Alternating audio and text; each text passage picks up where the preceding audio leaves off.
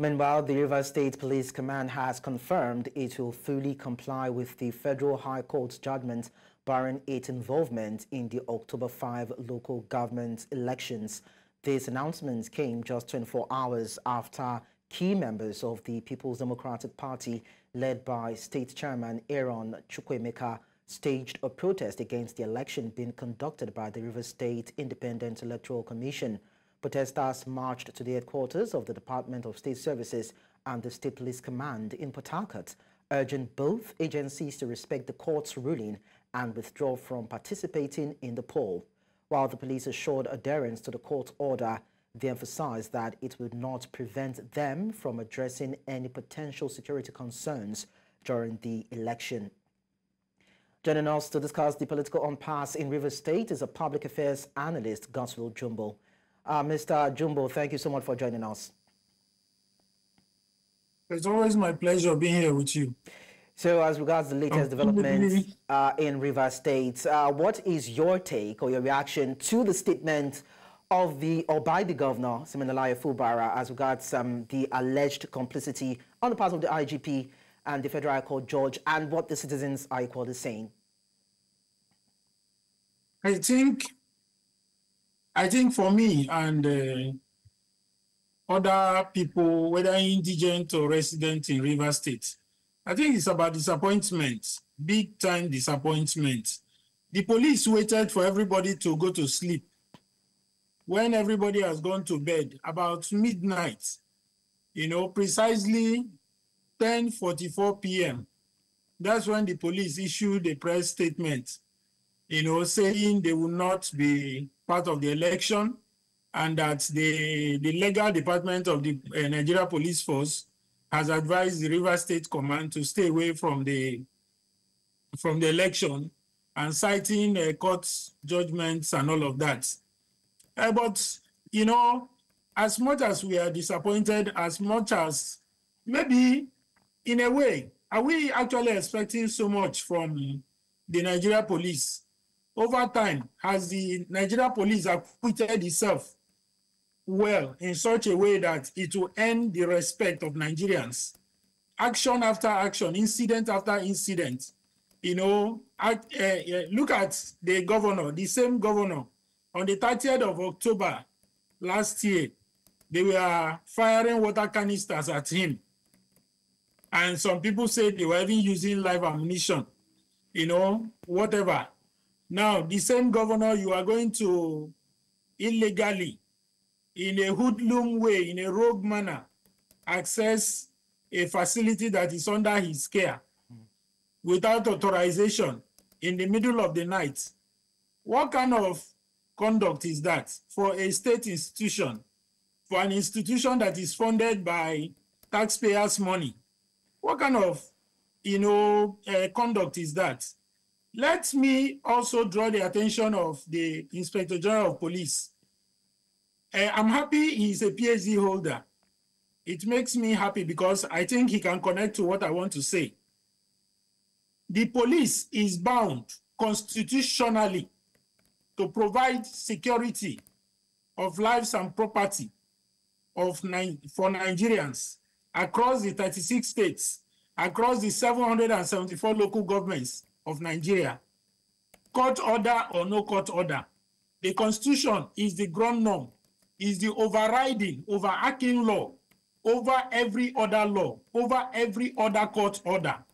So if the police says for this election they are not going to provide security for the people of River State, let Kayode Egbotokun be, be put on notice that that is a constitutional violation and he can be charged for it because violating the constitution is a higher crime than any other crime.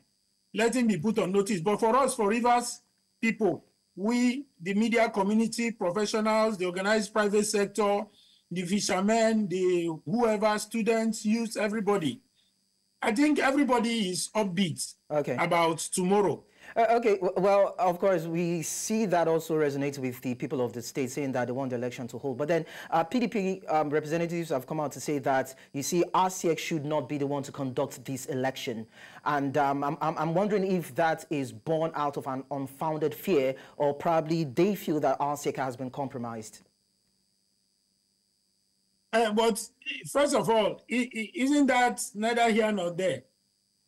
You don't want to attend a party and you still want to determine how that party runs. You want to determine who dances, which music is played, which DJ performs, and all of that. Why does that happen? The PDP has pulled out of the election, even when it is his own person, the governor of the state, that is superintending over the election. Imagine that.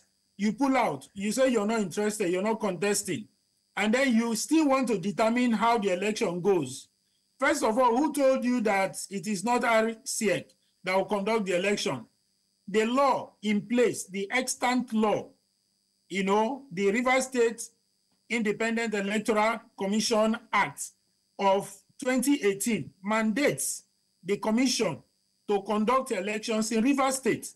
And that commission is bound by law to conduct the election in such a way that everybody is carried along. Remember also that law bars every court that no court proceedings can stop an election in River State, that same law. So the PDP should just relax. It is not contesting. Why is he bothering himself? Hmm. Why is he bothering himself? Uh, okay, I mean, so... they should just keep calm and just watch events play out. All right, For so me, I don't want to attend the party. What's my business with what happens at the party? All right, so as regards how the election will play out um, in the states, uh, you know, uh, voter apathy, public confidence when it comes to this election, how do you think it will play out with um, a police force saying that it will adhere to court rulings, but then if there's a security threat, it will still intervene? How are we so sure that, you know, there won't be any sort of violence being perpetrated uh, by an arm or, or, security apparatus that's meant to actually protect the people during an, uh, a, a democratic process? We, we won't be looking too far off. You know, when I appeared on your program days ago, I talked, I, you know, flagged the issue of political rhetoric. When somebody who is a leader, who is followed, who is respected, who is, you know, a lot of people see him as a role model, comes to the public and is, you know, using political rhetoric to invoke, to incite, to, you know, stir violence. What do we expect? The witch, if the witch cries in the night and the baby dies in the morning, we don't have to look too far. We will go looking for the witch. It's simple. Among all the political actors, who has been calling for violence? Who has been, you know, engaging in acts and speeches that stir violence? Somebody was saying some days ago that nobody has the monopoly of violence. Who is talking about violence? The oh. governor has not talked about violence. The candidates have not talked about violence. The political parties have not talked about violence. It is only him that is talking about violence. Where is the violence coming from? The Rivers people want to go to the polls and just elect who they want. They want to activate the grassroots system. Okay. This has been the cry, the yearning of the people of Nigeria across all these 773 local governments. Now, thank God, among all his failings, you know, the Buhari administration added to the current administration, uh, aside all their failings, they've been able to entrench this legally, you know, even having the apex court in the land, the Supreme Court, to entrench it legally. Wow. That henceforth, not only will the grassroots be run by the local governments, they will be funded directly from the federation account. Okay. Now, a part of that is that it can only happen through an elected government. The people can't wait to okay, have uh, elected uh, governments in the grassroots. Right, and this governor wants to make that happen. Mm. So why would anybody want to work against that?